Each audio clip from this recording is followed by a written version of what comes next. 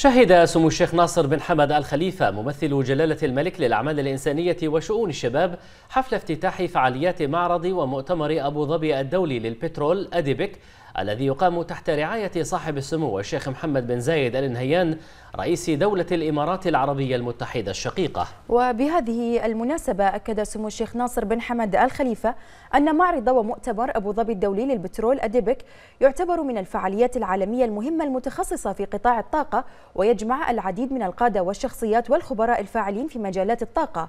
الأمر الذي يسهم في تعزيز مكانة دولة الإمارات العربية المتحدة الشقيقة الرائدة في صياغة مستقبل قطاع الطاقة على المستوى العالمي.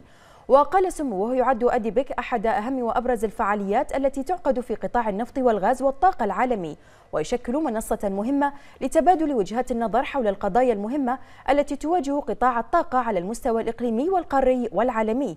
لذا فإن تواجد النخبة من صناع القرار تحت سقف واحد في هذا المؤتمر هو فرصة عظيمة للإطلاع على تجارب الدول في مصادر الطاقة وتطوير مشاريعها الرائدة في هذا المجال. بالإضافة إلى التباحث حول مستقبل الطاقة والابتكار في هذا المجال مشيرا سموه إلى أن انعقاد أديبك هذا العام يأتي في توقيت ذي أهمية كبيرة إذ يشهد العالم اهتماما متزايدا حول مصادر الطاقة وأهميتها وكيفية الارتقاء بها. بهذا القطاع عبر الاستخدام أفضل التقنيات وأحدثها بما يساهم في زيادة كفاءة الإنتاج وتنوع طرقه. وأعرب سمو الشيخ ناصر بن حمد عن تقديره للجهود الكبيرة التي تبذلها دولة الإمارات العربية المتحدة في تنظيم هذا المؤتمر الذي سيفتح آفاقا رحبة لمستقبل الطاقة في العالم.